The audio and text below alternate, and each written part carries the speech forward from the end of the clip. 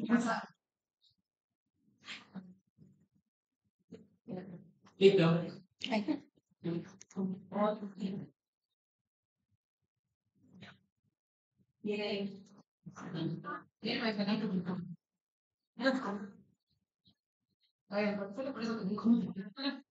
Ay, toqué algo. Para. Toqué esto. Oh, espera. Ah,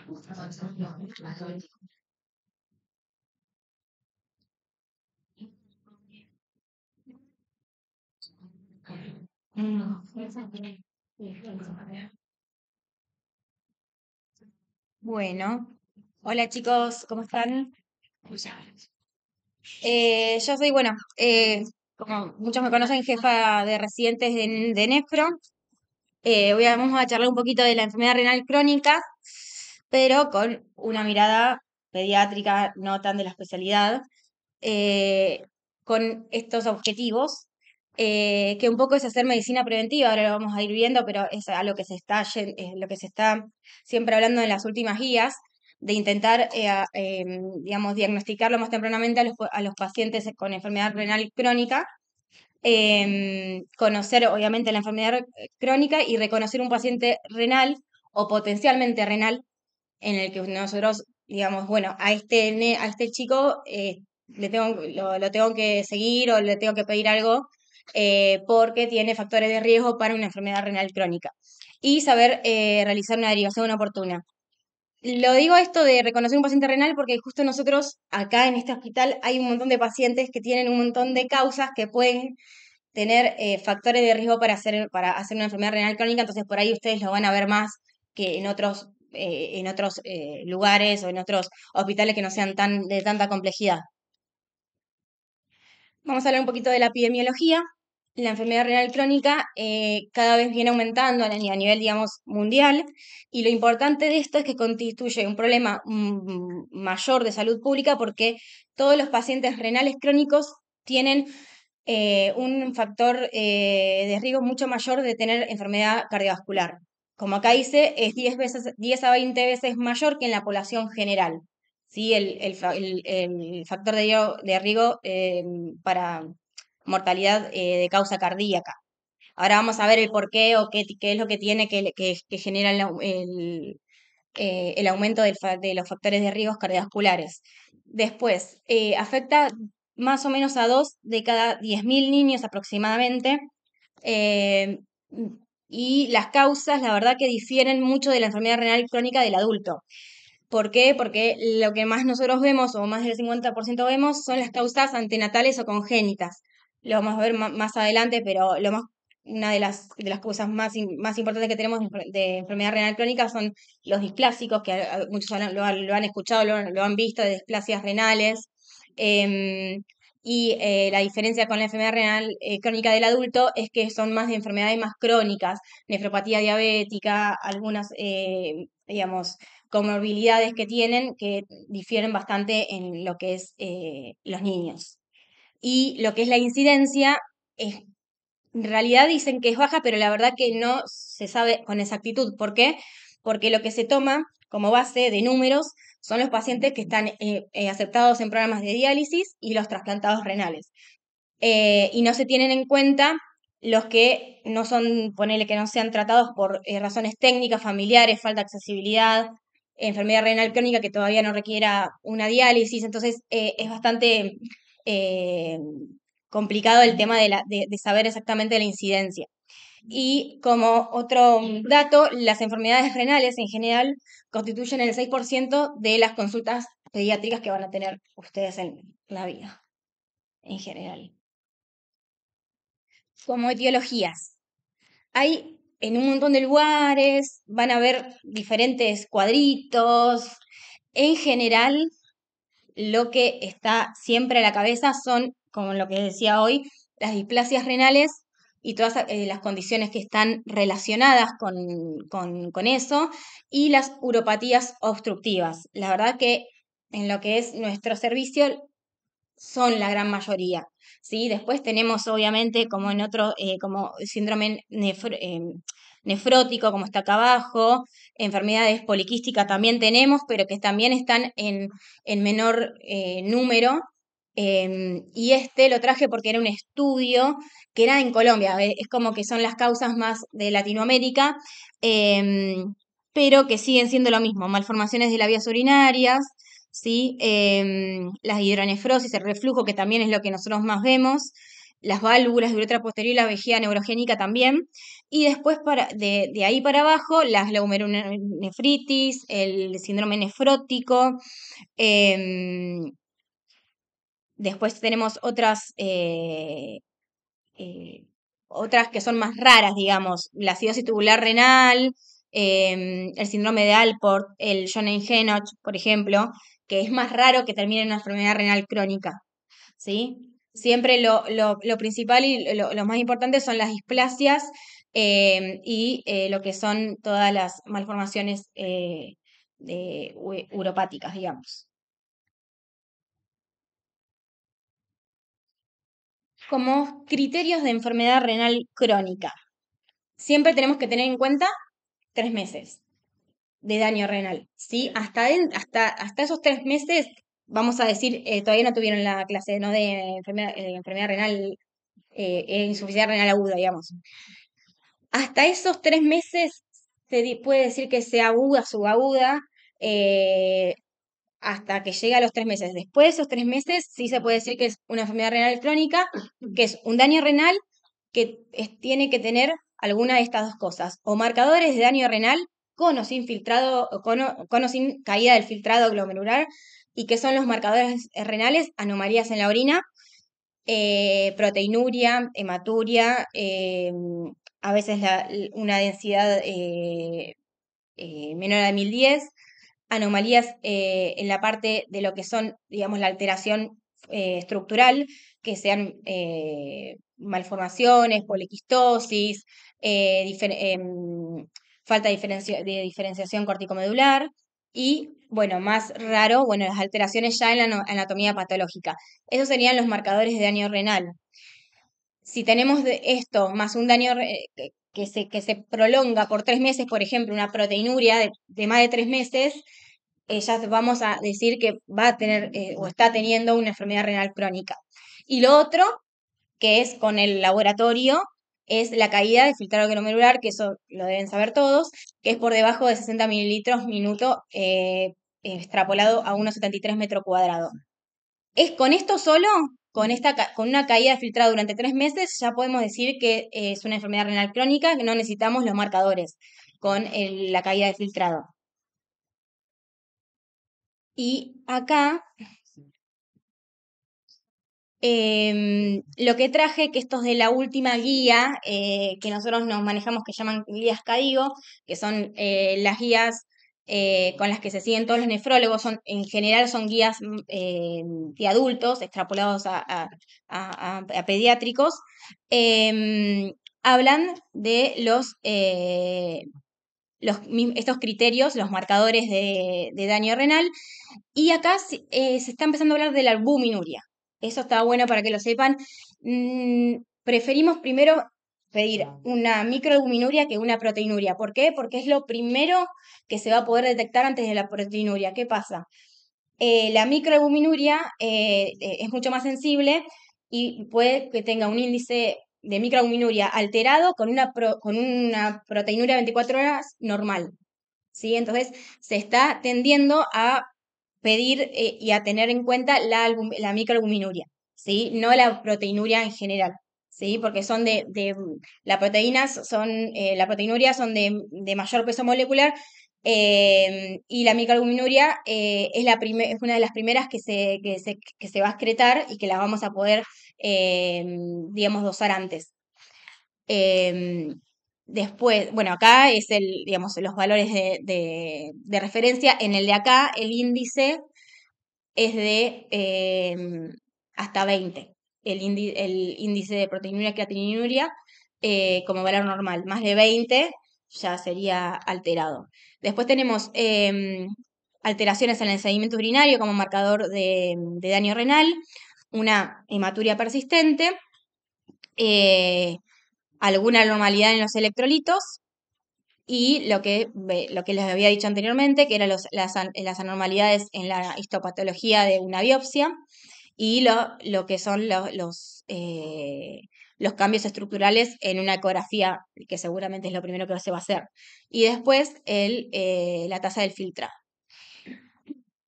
Y esto es esta tabla de la albuminuria, digamos, teniendo en cuenta la, la albuminuria, y la, las ponen en tres categorías. Esto es bastante nuevo, es de 2022, ¿sí?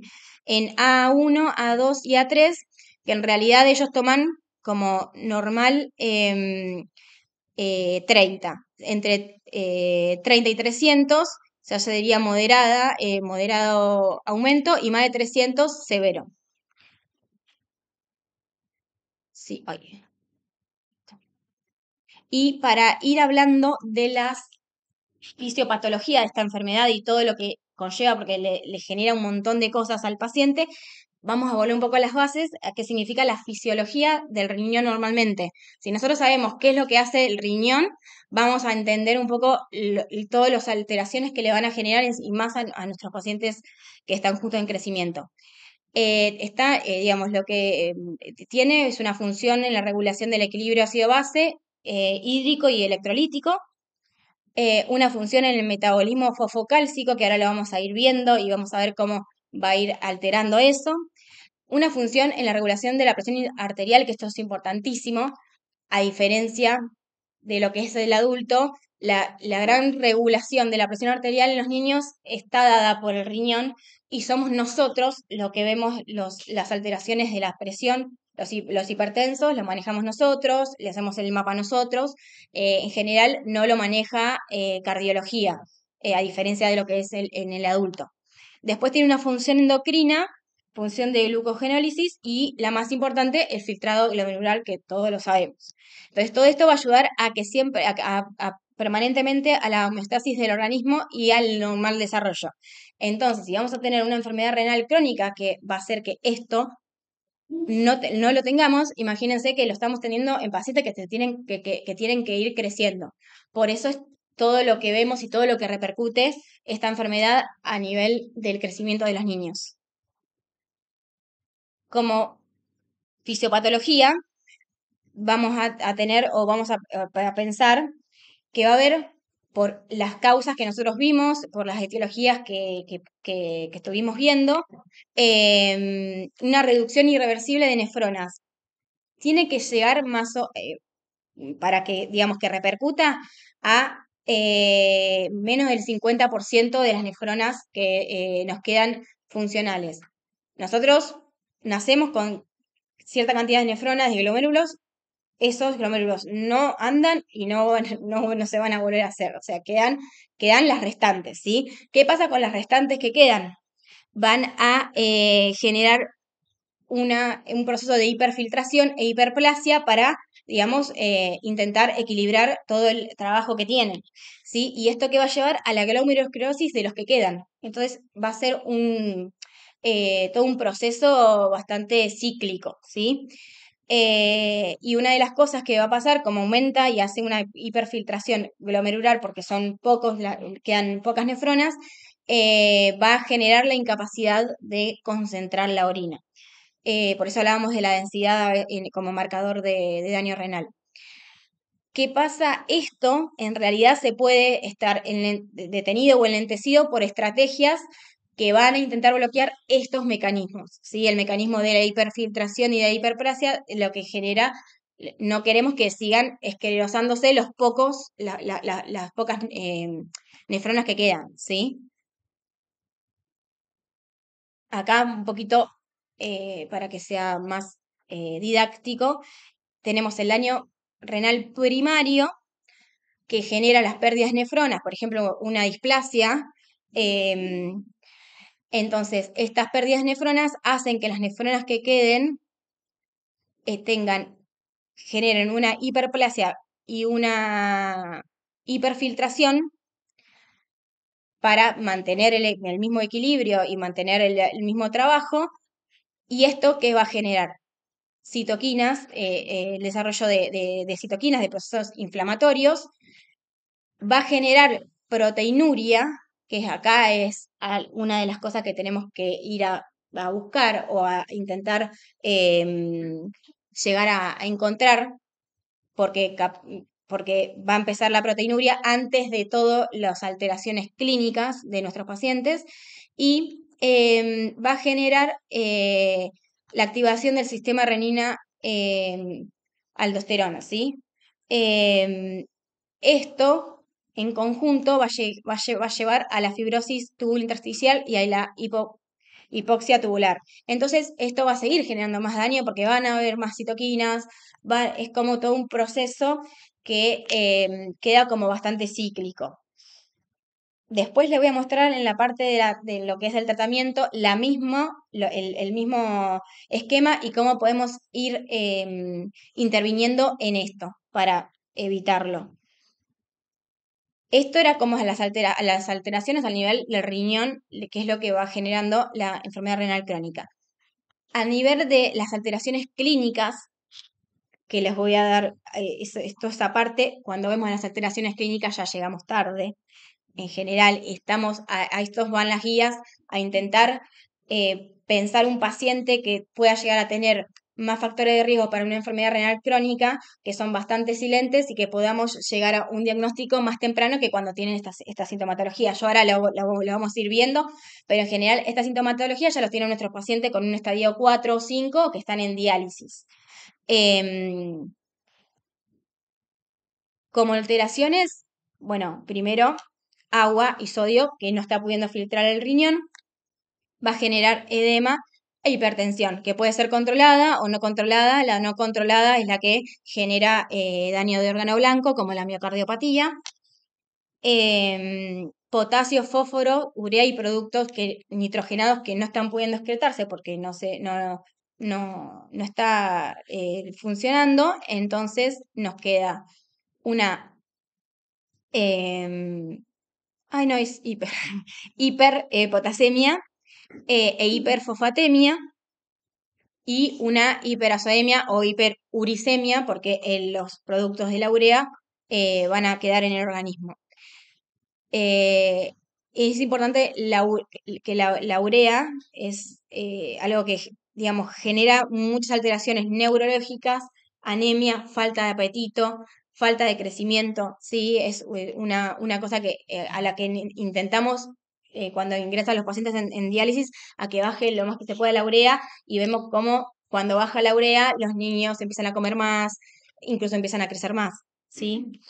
La acidosis, eh, por esta incapacidad de excretar los ácidos y la pérdida de bicarbonato que tiene el, riñón porque no, no logra, no, no, logra retener el, el bicarbonato y em, esta acidosis va a generar eh, retraso del crecimiento, más hiperpotasemia y en, bueno, la muerte en, los casos extremos, pero eh, piensen que están, eh, nuestros pacientes están en, o estos pacientes van a estar en un estado de acidosis que no es lo habitual para el organismo y para que se crezca bien, ¿sí?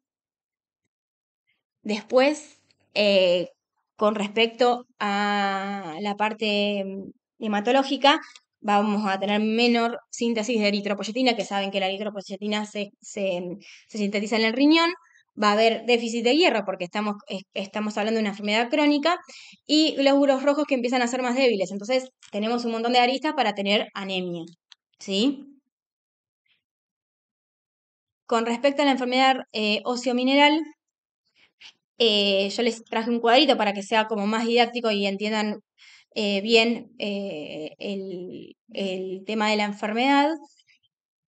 ¿Qué pasa? Empezamos por el fósforo. El fósforo no lo podemos excretar. Aumenta, lo tenemos, se empieza a acumular y se empieza a unir ese fósforo al calcio. Entonces va a quedar, mm, va, a disminuir el calcio iónico que tenemos libre, ¿sí?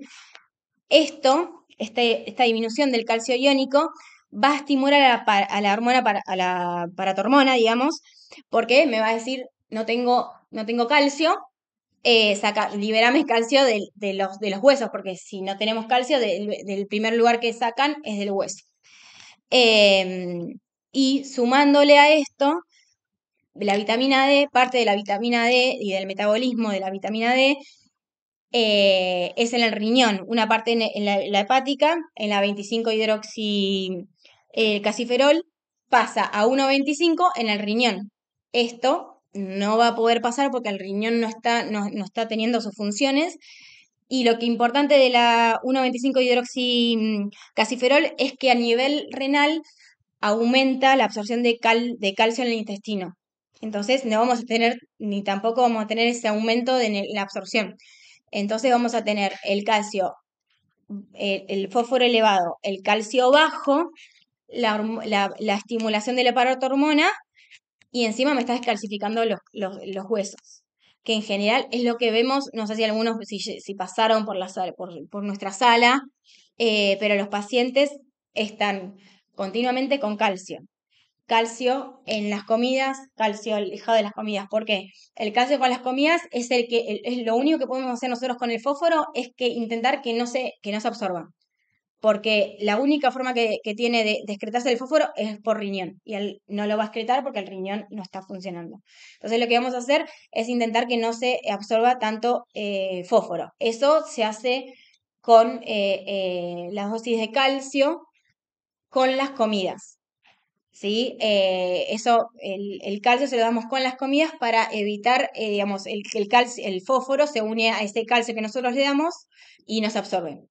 Em, y por otra parte, nos falta calcio, entonces le tenemos que dar como aporte, ¿sí? Se lo damos alejados de la comida. Y el, em, el, el eh, calciferol lo usamos para disminuir la estimulación de la paratormona para que deje de descalcificar los huesos, que es otra cosa que nosotros muchas veces vemos, la deformación de los huesos en los niños más chiquitos por, por esto. Pero bueno, es para que eh, se entienda un poquito la, las clínicas. Después alteración eh, en el crecimiento por varias aristas, eh, la desnutrición por la, anorexia, por la acidosis metabólica, muchos tienen polidipsia y tienen proteinurias, van perdiendo proteínas. Todas las proteínas que, eh, muchas de, las proteínas que se pierden son eh, importantísimas eh, para, para, el, para, el, organismo. Y después, la alteración del crecimiento, esto es bastante importante, que el 50% de los niños presentan una curva de crecimiento siendo armónicos, porque imagínense que es, esa es, es permanentemente bajo todo, peso, la talla, ¿sí? Eh, va a estar repercutida las dos cosas. Eh, alteraciones endocrinas con hipotiroidismo, resistencia a insulina y eh, hipogonadismos e hipergonadotrófico. Esto, la realidad, no se sabe por qué. Ahí, ahí se, se hablan de que tienen una función que están en conjunto, por ejemplo, el, la tiroides y, el riñón, en donde cuando se, digamos, nosotros seguimos los pacientes con enfermedad renal crónica, presentan hipotiroidismo. Y en muchos eh, estudios que estuve leyendo, decían que si nosotros, digamos, tratábamos ese, hipotiroidismo, muchas veces se veían una mejora leve de la función renal, ¿sí? Pero no, no, se, no se sabe eh, exactamente eh, cuál es la función ahí. Lo mismo que en la resistencia a la insulina. Em, y como alteraciones metabólicas, las pérdidas de las proteínas y eh, hiperlipidemias. Que em, la idea de estos pacientes es tener menos em, colesterol total menos de 200. Con todas estas alteraciones, ¿ustedes ven que tengan factores de riesgo cardiovascular estos pacientes? ¿Les parece que tengan? Un montón. un montón. Yo puse algunos, pero anemia, hipertensión, hipercolesterolemia, resistencia a la insulina. Y no lo no puse, no, no puse lo demás porque es un poquito, es decir, un poquito más, pero tenemos pacientes eh, en hemodiálisis que están em, continuamente con, catéteres que se le trombosan, eh, que esto ayuda a, esa mortalidad cardiovascular, ¿sí? Em, y bueno, ahora pasamos al diagnóstico. Em, como siempre, hay que hacer una historia clínica completa. Como vimos, hay un montón de síntomas eh, que, se pueden ir viendo en las clínicas. Em, lo que por ahí hay que darle más énfasis es al los antecedentes personales y familiares en este caso, porque la idea no es llegar a cuando el, eh, digamos, el examen físico ya nos diga si tiene, ya está, es, eh, tiene todo, está hematizado, no orina, o sea, ya con eso ya sabemos que, que tiene una enfermedad por lo menos renal. Eh, pero la idea es adelantarnos a un paciente que pueda llegar a ser potencialmente renal con los antecedentes personales y familiares. Es importantísimo. ¿sí? Ahora lo vamos a ir charlando un poquito más, pero eh, antecedentes de enfermedades que haya tenido, antecedentes de, los familiares, es mm, importante. El diagnóstico de oro es la disminución del filtrado, o sea, eh, eso es lo, que nos marca. Em, pero como dijimos, hay otros marcadores de daño renal que se, que se pueden utilizar. Y después, como exámenes complementarios, el examen de la orina, los imaginológicos como la ecografía renal y el centellograma renal.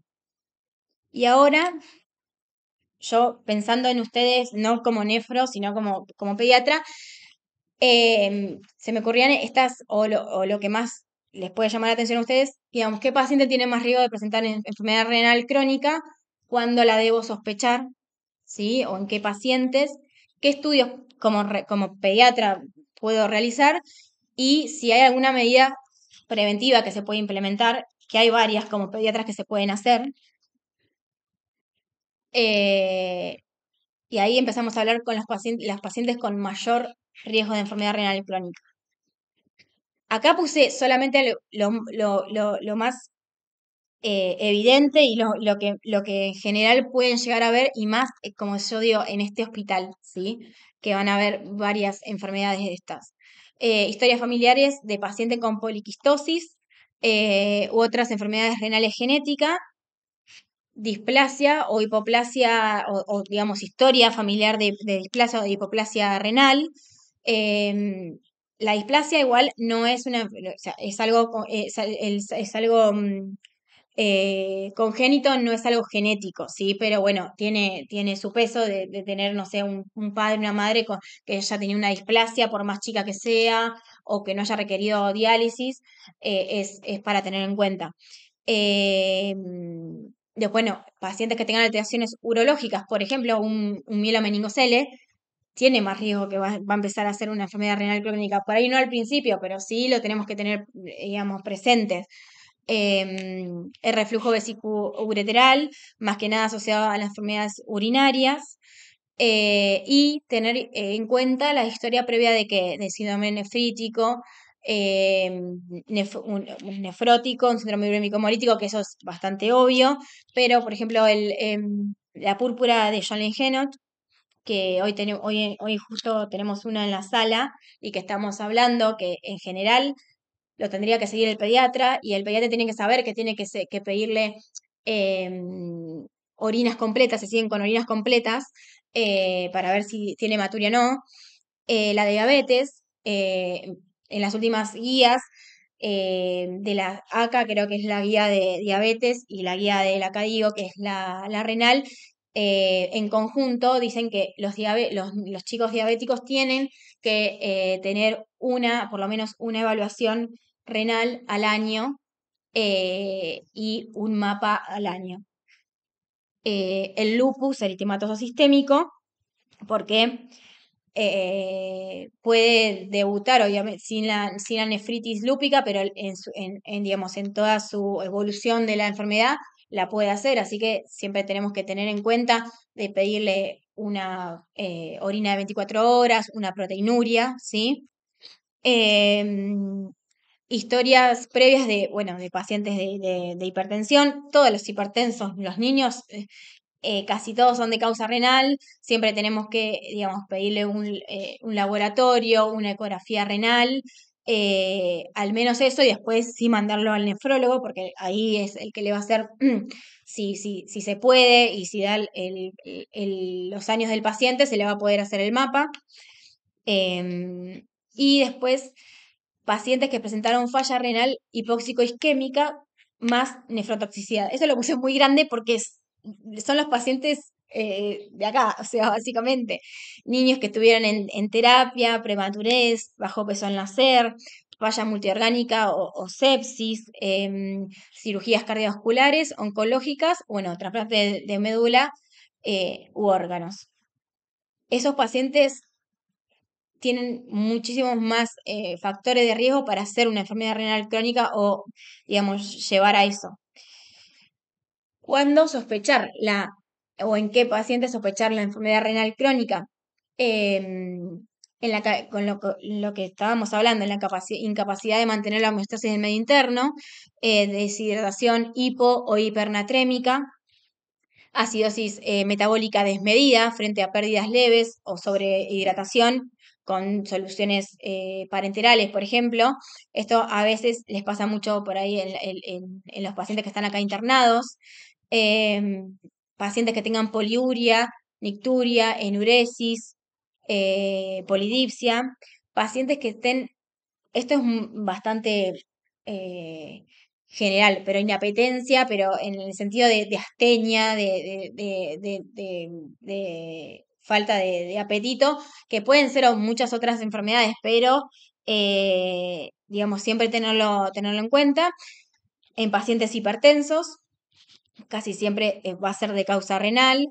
Em, anemia normocítica normocrómica que no va a responder con tratamiento con hierro, por lo que dijimos, eh, estos pacientes tienen bastante anemia. Mal progreso pondo estatural o la detección de la curva de crecimiento y alteraciones óseas con dolores, alteraciones en la marcha, lo que veíamos más que nada de la enfermedad ósea mineral. Y retraso madurativo en, en ciertos casos, no en, todos, porque el retraso en realidad madurativo eh, es en, pacientes que ya tienen también eh, otras, eh, otras enfermedades asociadas a la enfermedad renal crónica. ¿Y qué recomendamos para las pesquisas? Em, todos estos pacientes que vimos recién que tienen, eh, que podríamos pensar o sospechar en una enfermedad renal crónica, le tendríamos que pedir esto, que es un examen completo de orina em, en búsqueda de la densidad, de la hematuria, de la proteinuria, em, hasta que yo di esta clase anteriormente en la jefatura anterior, estábamos, siempre se hablaba de proteinuria. Por eso ahora lo que puse acá abajo, el índice de microalbuminuria, creatininuria o la albuminuria en 24 horas, es lo que se está viendo de elección por lo que les decía, porque es más predictor que las eh, proteinuria de, de 24. Acuérdense que la proteinuria puede ser de 24 horas o puede ser el índice, porque en los más niños es imposible, eh, digamos, em, cuantificarla.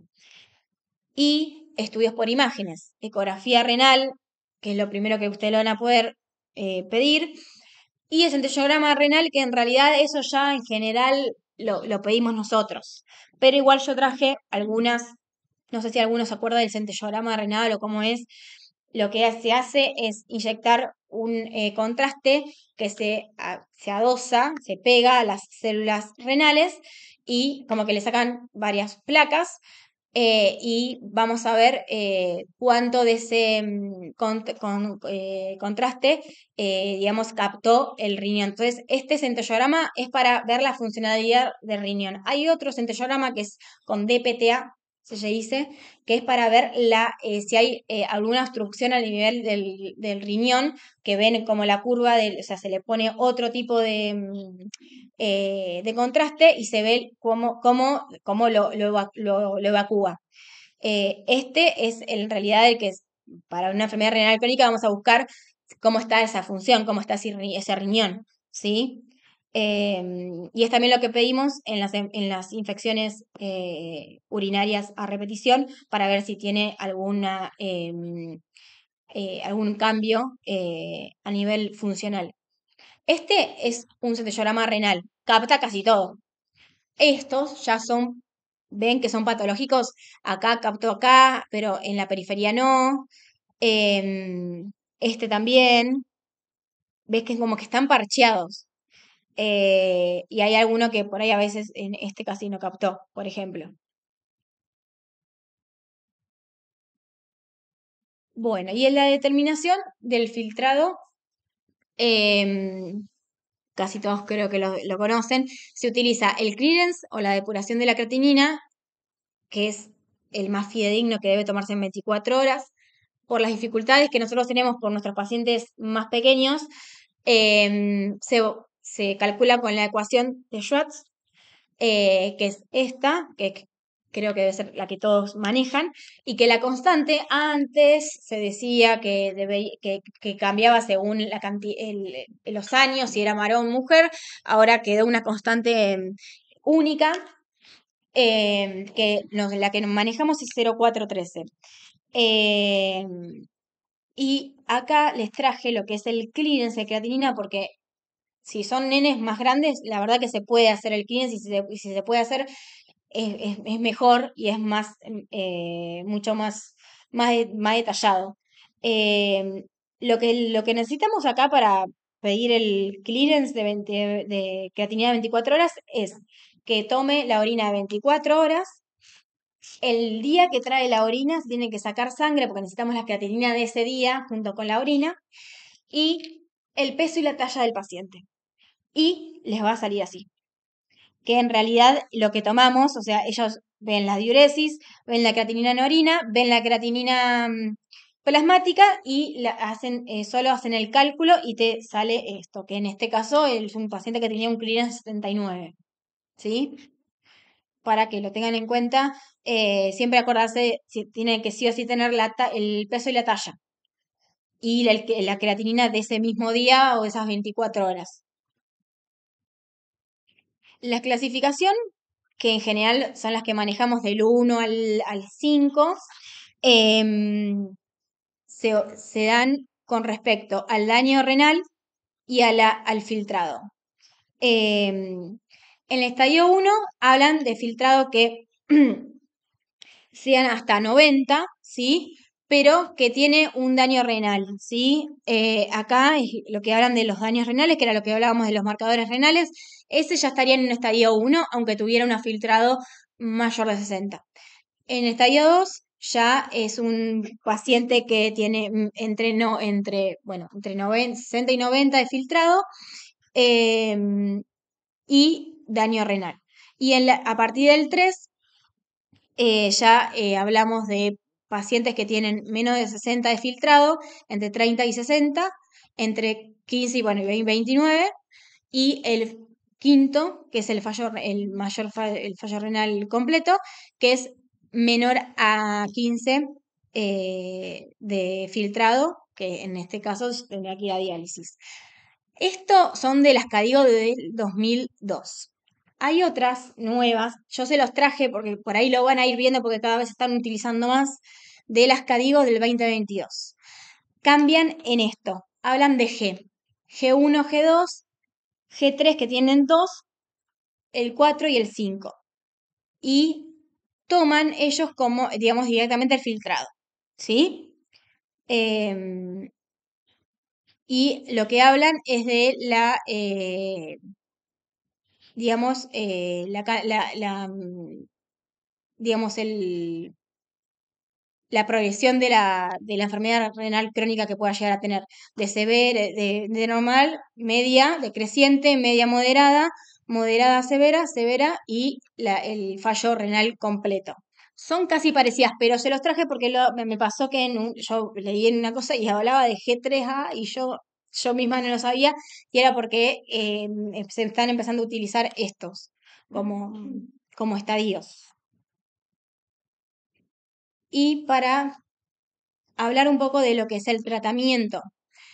Em, en muchos lugares se hablan de nefroprevención. La primaria, la secundaria y la terciaria. La primaria es la que interviene el pediatra, es en donde ven al paciente, sospechan y le piden los, le piden los laboratorios. Sin que ustedes lo sospechen y que pidan algo, nosotros no lo vamos a poder ver.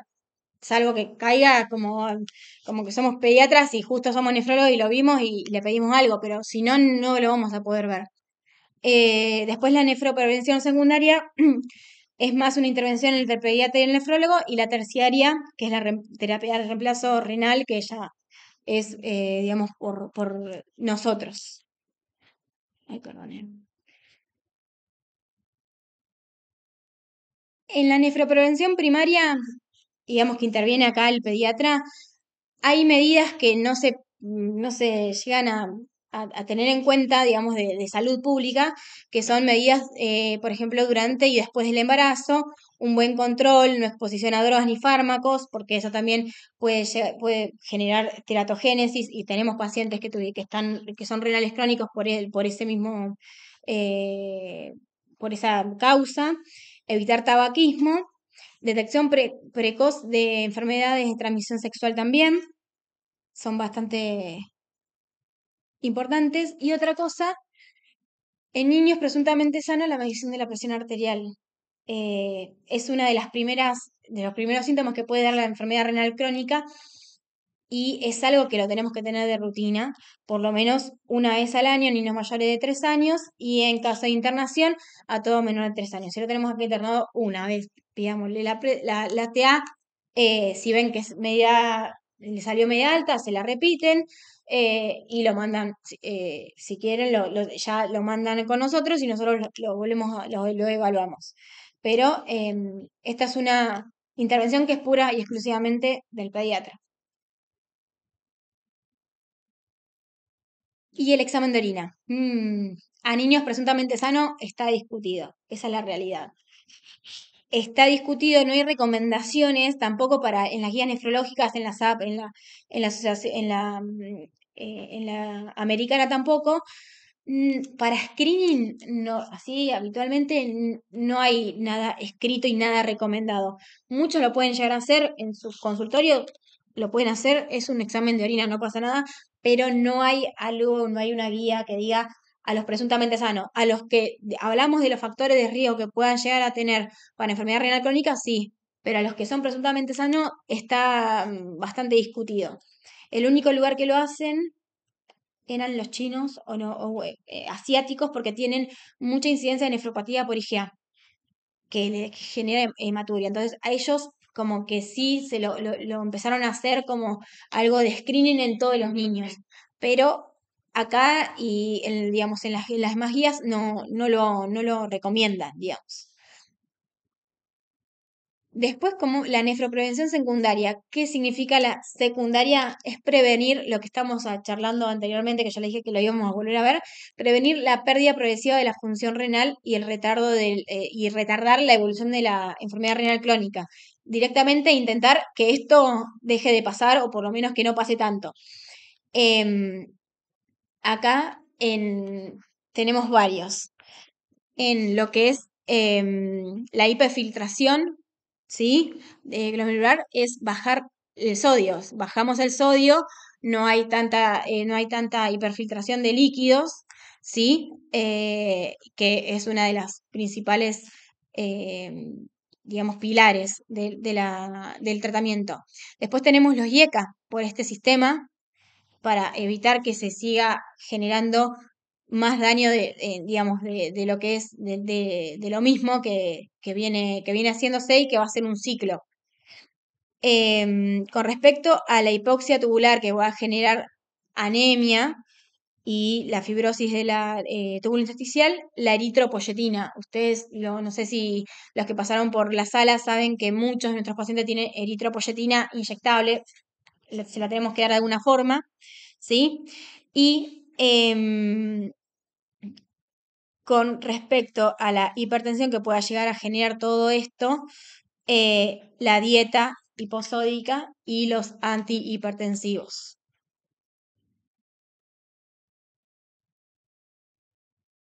Y los factores de riesgo que podemos modificar para que, digamos, modificables que van a acelerar la progresión son por ejemplo, la proteinuria, muy importante. Por sí sola es un factor de progresión seguro, porque cada vez que perdemos y tenemos proteinuria, ese riñón se va a ir lastimando cada vez más. Entonces, intentar, digamos, eh, llevar, obviamente, a, proteinuria cero si podemos, genial, y si no, y lo, principal, em, nosotros usamos mucho eh, lo que es el, el anapril, ¿sí? Para evitar la proteinuria.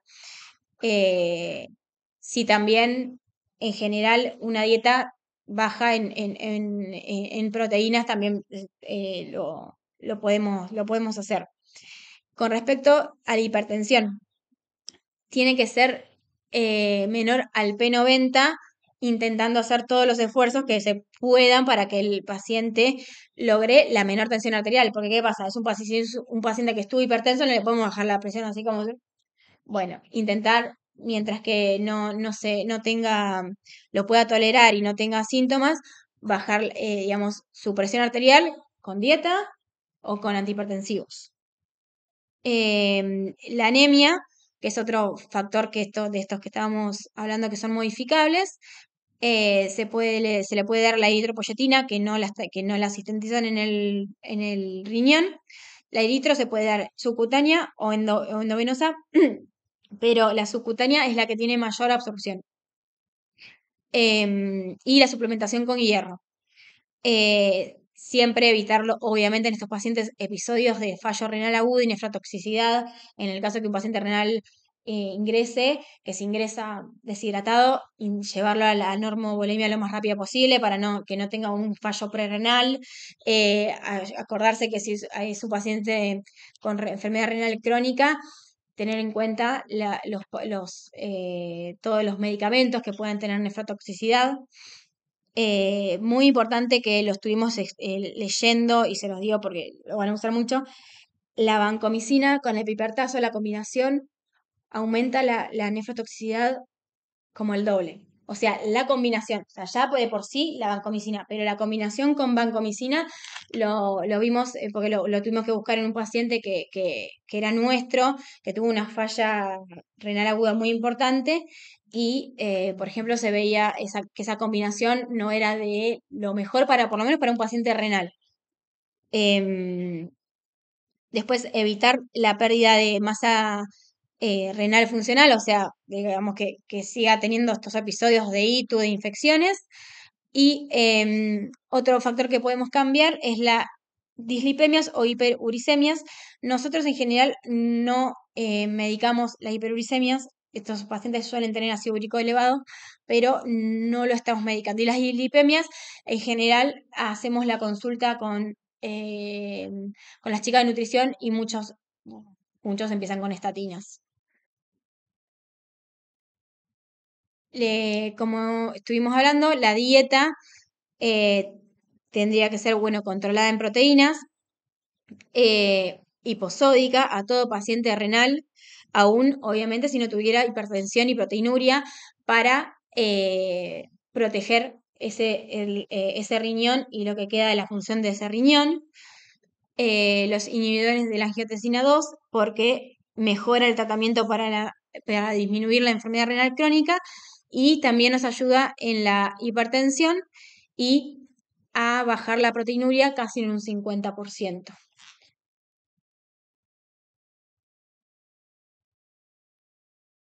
Y como nefroprevención terciaria, que en realidad eh, ya es, digamos, nuestro completamente, es la terapia renal de reemplazo, que es lo que van a tener en los demás, en, las otras eh, clases que van a, van a tener. Em, estos pacientes ya están en un estadio 5 de enfermedad renal crónica, o sea, tienen un una, eh, filtrado de menos de 15 y para entrar a una terapia, eh, muchas veces lo seguimos en consultorio y por ahí tienen 15, 18, 20 y no, y no están en diálisis. ¿Por qué? Porque no tienen los criterios clínicos. Deterioro nutricional, mal manejo de bulimia, hiperpotasemia, síndrome urémico. Nosotros intentamos lo más que se puedan digamos, como decir, bancar a esos pacientes sin diálisis, porque sabemos que la diálisis eh, los van a ayudar, los, va a hacer, los van a dejar eh, que no se mueran, pero también le suma un montón de mortalidad a los pacientes. Em, y tengan en cuenta que nosotros estamos hablando de pacientes muy chiquitos, que obviamente no van a tener una calidad de vida de un paciente de 80 años, pero tienen por lo menos unos muchos años por delante, entonces retrasar la diálisis lo más que se pueda lo, van a ayudar, lo va a ayudar eh, para tener una mejor calidad de vida más adelante. Eh, como terapias renal de reemplazo, tenemos el trasplante renal, que es la de elección. Si nosotros nos dicen de todas, de todas y la de elección es ponerle un, un, riñón nuevo y que no tenga que entrar en diálisis, no tenga que tener todas las comorbilidades que tienen. ¿Qué pasa? Lleva muchísimo tiempo de preparación, tanto para el receptor como para la inscripción al mismo. Eh, incluso ahora en el Sintra, que en realidad es, em, el Sintra es el, todo el sistema eh, por el cual tenemos que sumar, ir, subiendo toda la evaluación.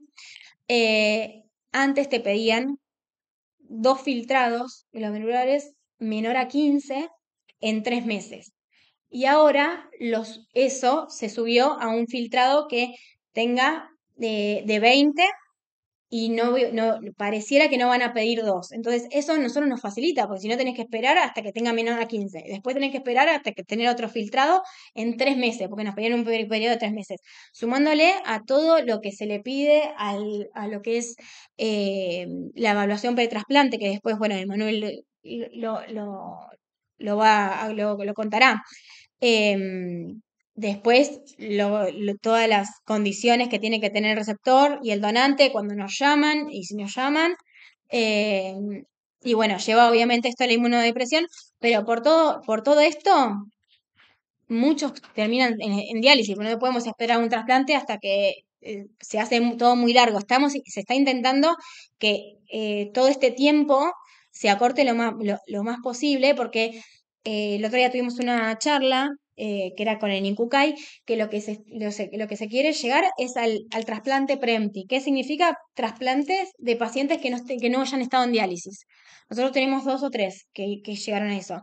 Eso sería genial, eso, eso es lo ideal, ¿sí? Em, y más por esto que les digo, o sea, eh, ya tiene un trasplante y no se utilizó ni el peritoneo ni se utilizó sus, sus vasos sanguíneos, sus vasos sanguíneos, entonces tiene mucha mejor calidad de vida para lo que le resta, ¿sí? Em, pero bueno, es medio complejo, entonces mientras muchos esperan para este trasplante, eh, las otras terapias de reemplazo que, bueno, eh, son restantes es la diálisis y la, hemodiálisis.